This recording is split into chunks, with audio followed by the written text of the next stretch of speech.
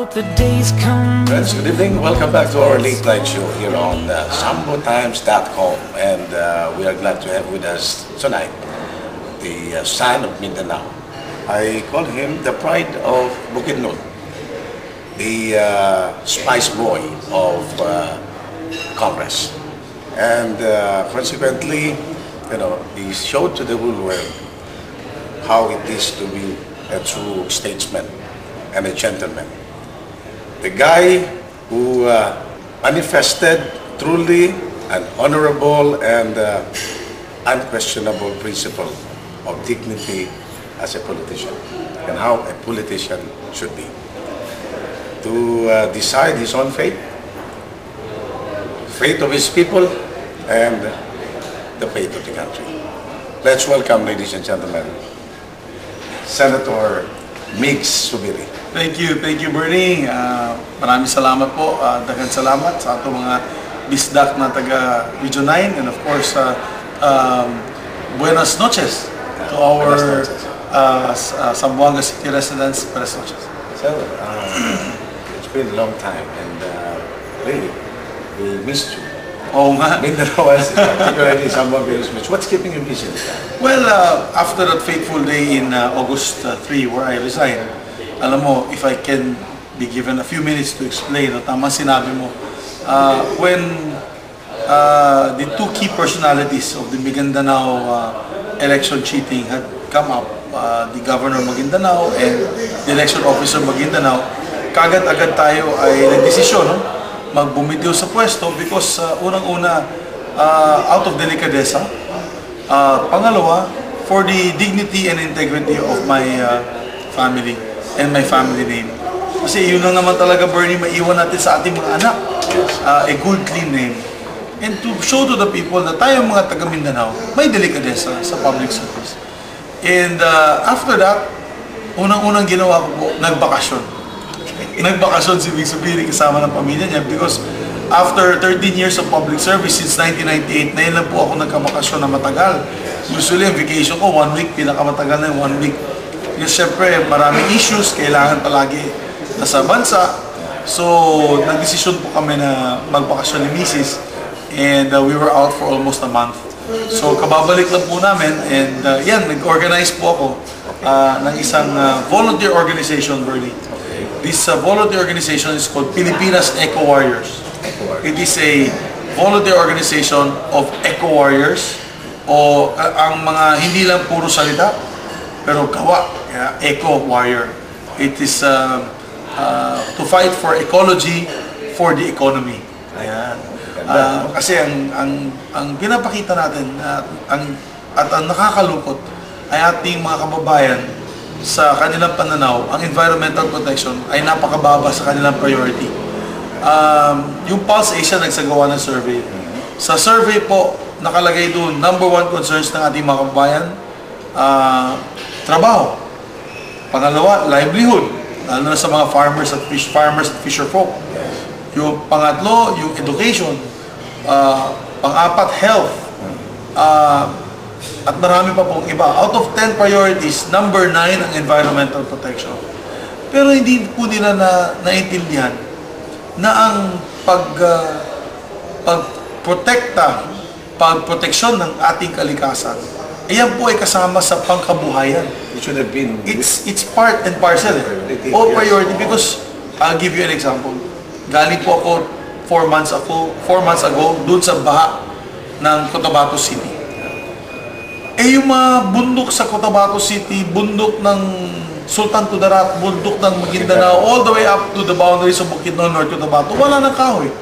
Ubus na. So talagang pag magkaroon ng malakas na ulan, may runoff. Talagang babagsak at babagsak, bubuhos talaga yung tubig Sa lower- sa lower level, which is the Cotabato City area.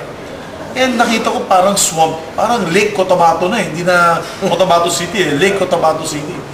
So, bumabalik muli sa environmental protection. Because what happened, ang pangkabuhayan ng ating mga kababayan wasak. Yung rice fields nila wasak.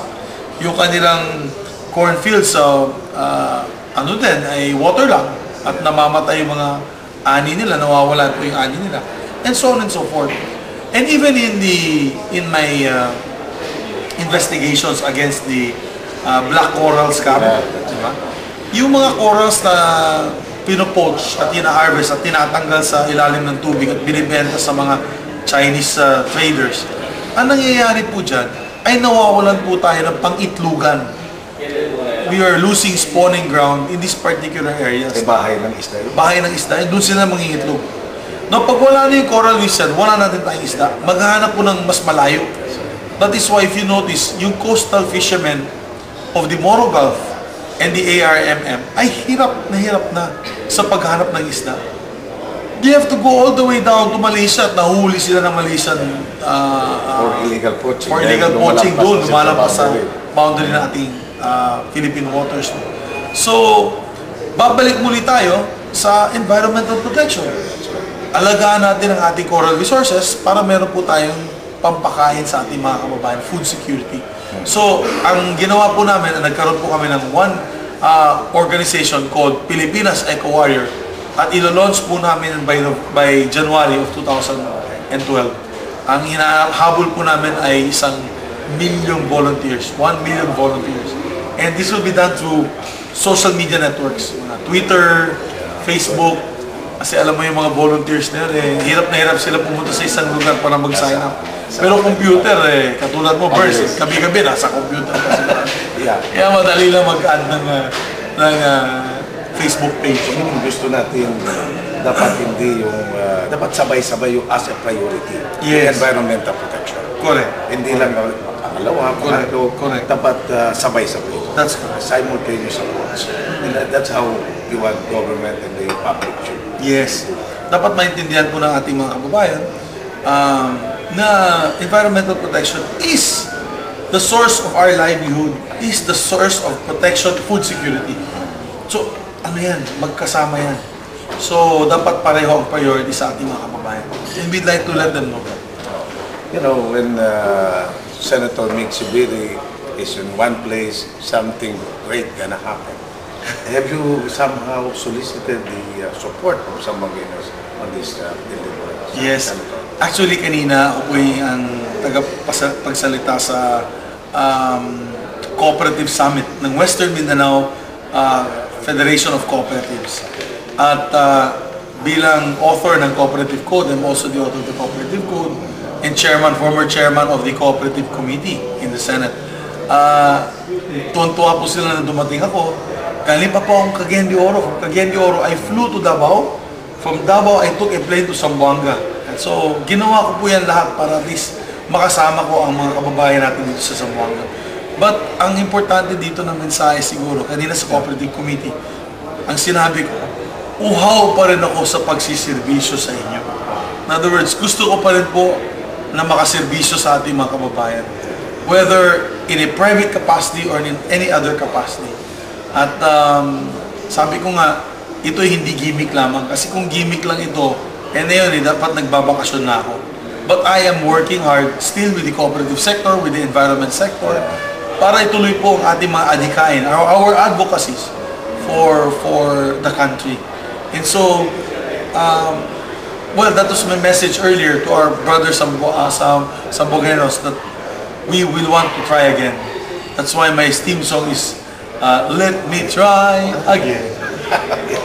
So, Senator, side, nasa sideline mo na yung medyo set aside mo ng politics. While you're still out of, uh, of uh, politics. Yes. Or, but you are reserving uh, the future.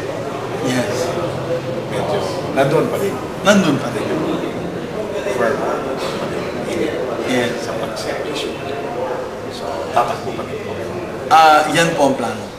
I have to seek redemption and the only way to seek redemption sa pagre-resign ko ay ibalik muli sa taong bayan. Um, and and show to them the four years of my track record sa sa Senado. At hindi naman sa pagyayabang out of that four years mga kapatid. ah, si Mig Subiri had a perfect attendance. Since 1998, perfect attendance ako, Burns. I have never been absent in any legislative session. It's on the record. On the record, perfect attendance. Ako lang yata since 1998 na naka-perfect attendance sa buong Kongreso at Senado. Um, I had sponsored as majority leader, being the youngest majority leader in the history of Congress, I had sponsored 650 Republic Acts. Yung 14 Congress has the distinction of the most number of Republic Acts approved by any Congress. Isama mo na yung 11, 12, at 13, isama mo lahat. Mas marami pa rin yung, uh, yung 14th Congress. Na kung saan si Senate President Enrile ang Presidente, Senate President, and ako po yung majority leader.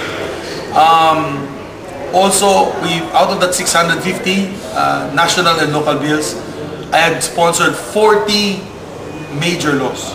Yan yung um, Renewable Energy Act, the Biofuels Law, the Rent Control Law, the Cooperative Code, the AFP Rate-Based Pay Increase Program, the new Pag-ibig Charter, um, the Wildlife uh, Conservation Act, yung uh, Disaster Management Act, um, ano pa, yung low-cost loan condonation program for low-cost housing projects, yung uh, SSS condonation program, yung delinquent SSS condonation program, um, dangerous drugs law, uh, yan po yung talagang... Energy, energy. Yes, because our renewable energy also, uh, kasama natin yan, biofuels, uh, yung promotion ng solar, wind, geothermal, uh, biomass.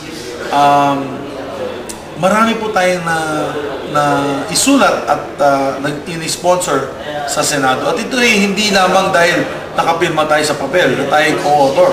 Marami ganun eh, mga senador at congressman, pipirma lang as co-author. Ako po ay tumayo.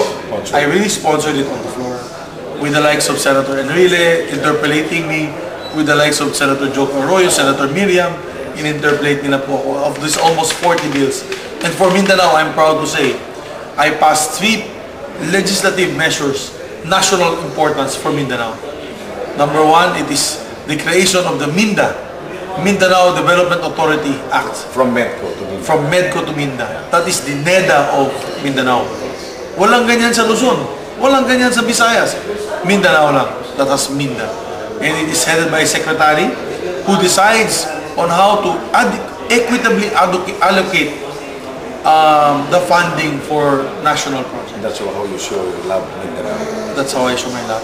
Pangalawa, nag-set up din po ako ng National Commission for Muslim Filipinos. Okay?